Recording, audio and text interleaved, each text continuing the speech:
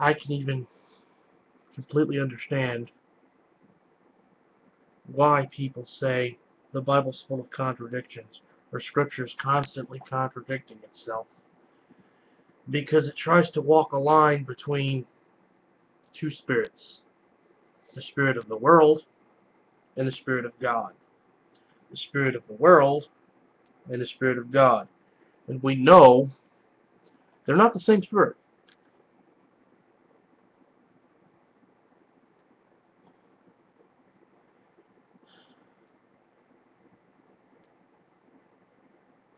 My Heavenly Father might have built this place, but He's not in charge of it.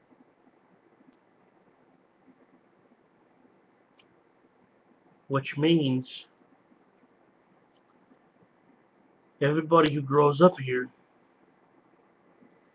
isn't mystically going to be gifted with the spirit of the only true God. It's not going to be mystically happening anytime soon. What it means is that we actually have to put forth some effort.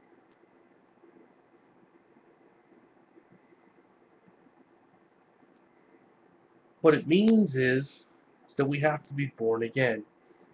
To have His Spirit. We have to be transformed. The old us has to die. The old spirit of us has to die. We have to have the new.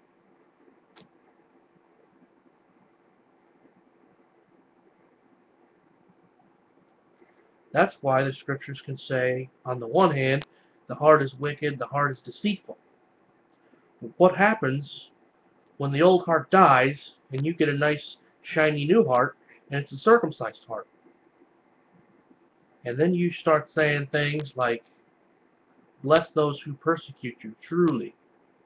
Love God with your whole heart, mind, soul, and spirit. Love everyone. Because God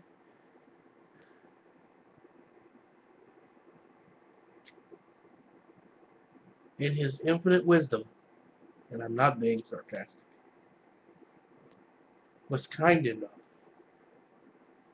to not make distinctions. And he loves you. He loves me. Because he loved me, He sent his son to seek me out.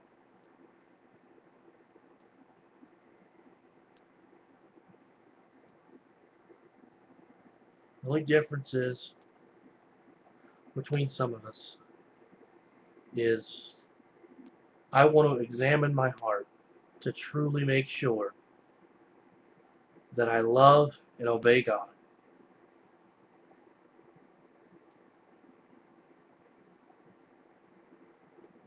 Because if I don't love and obey God,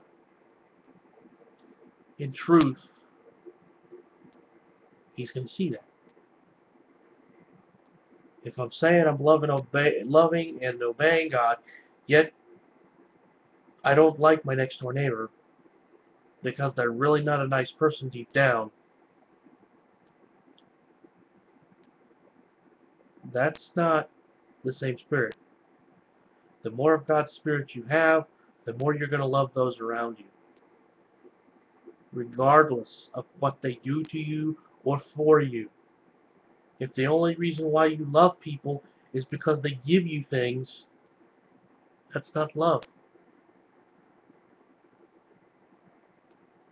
If the only reason why you love your wife is because she's got a really great body and you like using it often, that's not love, folks. It's not the Spirit of God. When God joins people together, it's a commitment.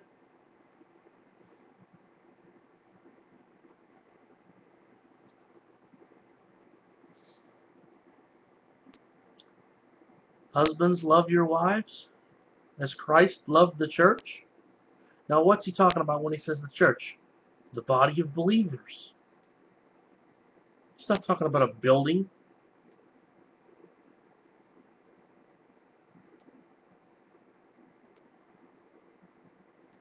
Just like when uh, you hear that scripture that says, For God so loved the world that he gave his only begotten Son.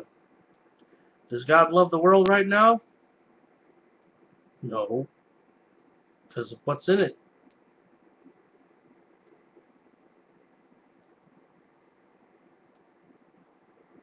Now, I'm not talking about the people. I'm talking about the sin. I'm talking about the ugliness. He loves the people, but he doesn't like what they're doing. He doesn't like the spirit of the world.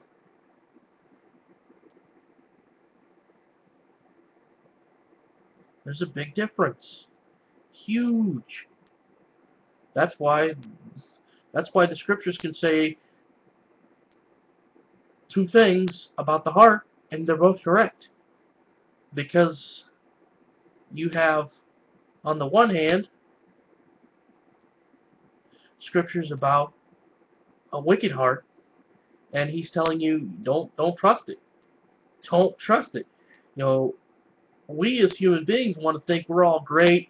Me and the Father are like this. I don't make no mistakes. I'm sinless, man. I'm I'm righteous. Whoa. You understand what you're saying? That very statement disqualifies you from true faith. Do you understand why? Are you getting mad when I'm saying stuff like that? Does that make you want to pick up a chair and throw it at your computer screen? What spirit are you of? Really examine it.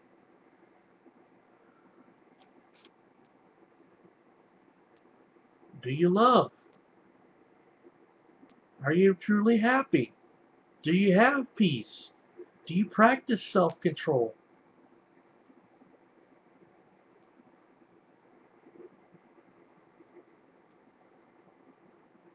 Are you easy to offend?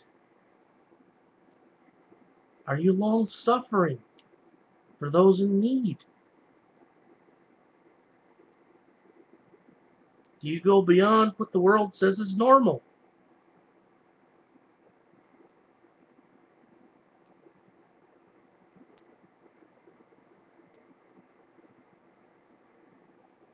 I don't know how clear he can make this. I really don't.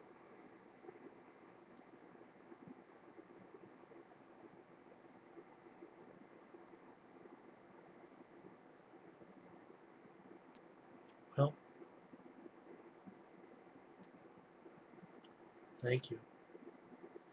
And may God bless you all. Do you know what blessing actually means? He's not talking about cars. He's not talking about financial gain. He's not talking about all these things when we think of blessing, man. God's really blessing me. God is just blessing me mightily. You know what it really means? You might want to Google it and look it up. You might be surprised at the answer.